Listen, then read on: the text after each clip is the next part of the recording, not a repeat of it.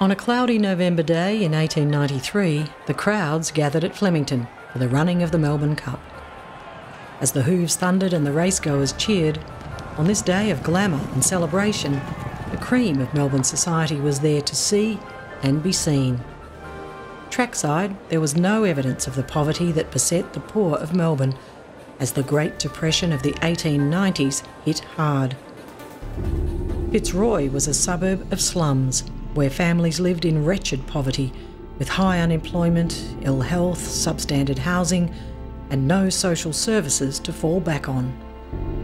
The day before the cup race, to address this desperate need, the Sisters of Charity opened St Vincent's Hospital on Victoria Parade, Fitzroy, after five years of community fundraising. With the exhibition buildings just a stone's throw away and demand for hospital beds growing, the nuns soon organised a month long Easter bazaar to boost their coffers.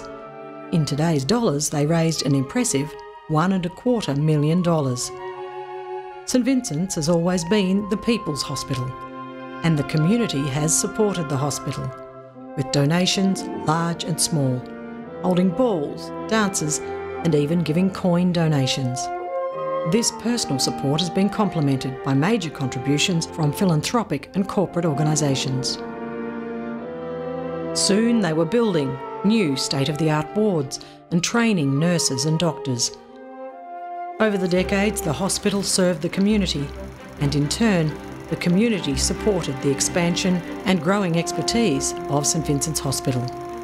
It has been a true community partnership delivering mutual benefits in addition to changing lives.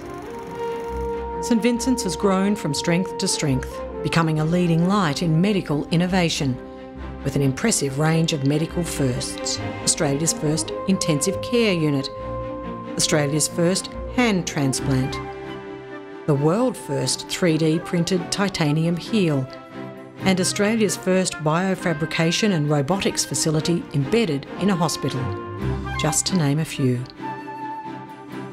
St. Vincent's is now one of Australia's preeminent hospitals, blessed with world renowned clinicians and surgeons, equipped with cutting edge technologies, and staffed by committed, clever, and caring people.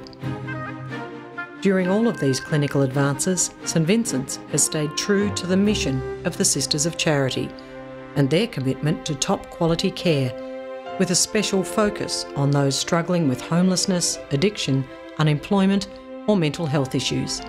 People who need care but also compassion, understanding, and support. St Vincent's began with a vision held by a small group of women and shared by the community they vowed to serve.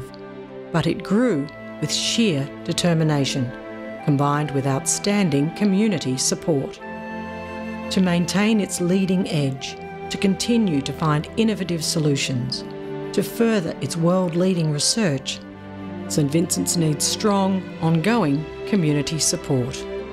With 125 outstanding years behind us, St Vincent's is looking to a future where medical technology and human endeavour combine, and the poor and vulnerable are at the forefront of those to benefit.